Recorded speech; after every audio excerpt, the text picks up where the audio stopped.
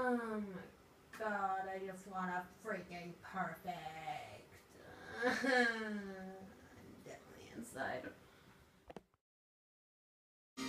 This cured my depression.